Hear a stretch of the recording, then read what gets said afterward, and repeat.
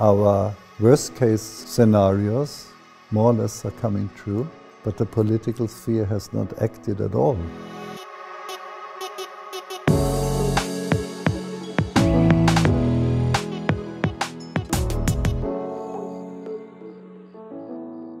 Professor John Schellnhuber, you are probably one of the most uh, recognized climate scientists in the world, and you are the father of the phrase tipping points. Mm. Could you explain uh, what is actually a tipping point? Mm. The really important parts of the planetary machinery, which can be pushed into a new mode of operation, or they can be pushed into destruction if you turn up the heat. Uh, if you look at the really important parts, uh, what is organizing our atmosphere, what is organizing our oceans, when you end up with, say, two dozens of tipping elements. Uh?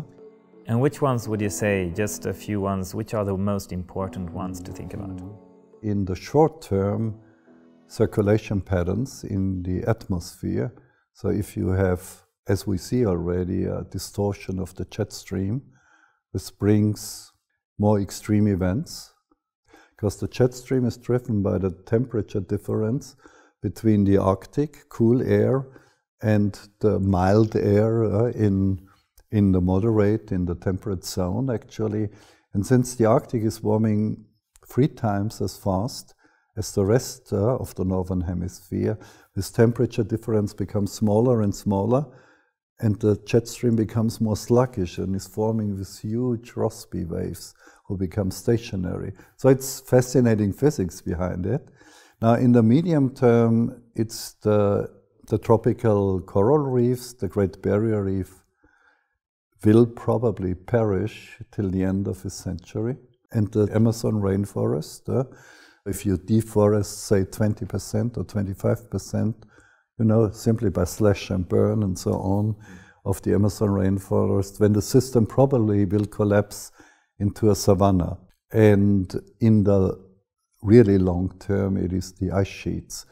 Greenland ice sheet is 2,000 to 3,000 meters thick, and it has survived millions of years, of course. Eh?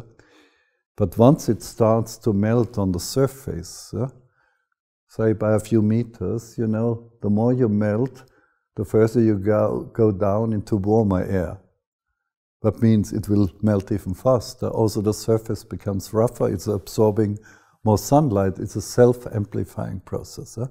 But the, the, the, sleeping giant clearly is the East Antarctic ice sheet, and it holds the water equivalent of 50 to 60 meters. Huh? So, if the, the East Antarctic ice sheet would become destabilized, uh, this would actually, in the end, lead to a sea level rise, which is beyond any type of management. Uh, that will determine the fate of this planet. This is a science with huge amount of uncertainties. Mm. Uh, how sure are we with the science around tipping points? Mm, mm we can write down the history of planet Earth uh, through the ice cores, uh, through the sediments, and so on. So we know what happened under what conditions. Uh. Looking back into the Earth's past, uh, we are much more confident that the things we talk about and we simulate with our computers are actually the real thing. Uh. Just recently, uh, you and some other uh, leading scientists in the field, uh, you came out with a, an even more alarming mm. report where you write about how some of these systems are actually interconnected. yeah. If the Greenland ice sheet, for example, starts to melt down, will this be more or less ignored by the other tipping elements? The Gulf Stream is actually formed initially by the sinking of salty and cold water, dense water, down 4,000 meters deeper. Now, if you dilute that water through the melting, it is not heavy enough anymore to sink down. Ultimately, it will stop the deep water formation. Huh?